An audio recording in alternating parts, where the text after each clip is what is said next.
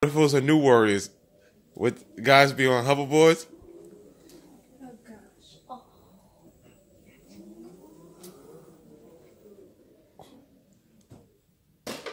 These boys are good. Oh! He hit the deck. Good thing he didn't fall through the fireplace.